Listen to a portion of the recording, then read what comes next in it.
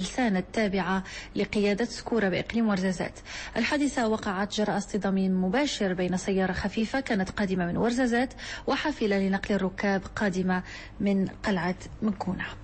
نبقى مع أخبار الحوادث. بالأمس احترقت حافلة لنقل الركاب بأكملها وسط مدينة إنزكان الحادثة وإن لم تخلف خسائر في الأرواح عكس الخسائر المادية فإنها تطرح تساؤلات عدة حول شروط السلامة والمراقبة الواجب توفرها بوسائل النقل خصوصا ونحن على مشارف عيد الأضحى المبارك. الحبيب العسري ومبارك زمان. هي صور لمخلفات الحريق الذي شب بحافلة للنقل. كانت متوقفة على بعد أمتار من محطة للتزود بالوقود متواجدة على المدخل الطرقي الرئيسي لمدينة إنزكان.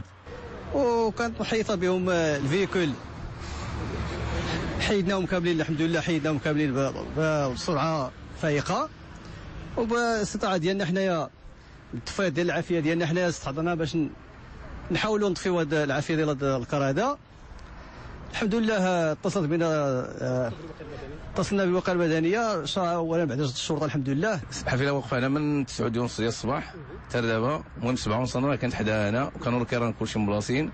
وتا دابا مشيت يتملوا تقريبا ورجعت كيعيطوا لي قال لي الكار تحرق. ما كاين حتى شي واحد ما مديماري ما والو الكار كان واقف تتحرق.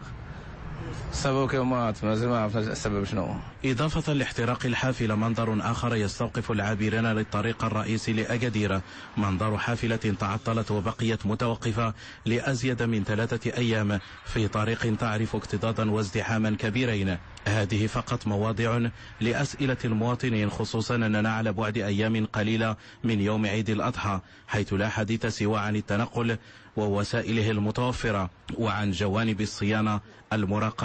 والسلامة الواجب أخذها بعين الاعتبار في مثل هذه المناسبات حفظا لحياة المسافرين. تراكم النفايات الصلبة من بين أكبر المشاكل التي تواجه مدينة الدار البيضاء.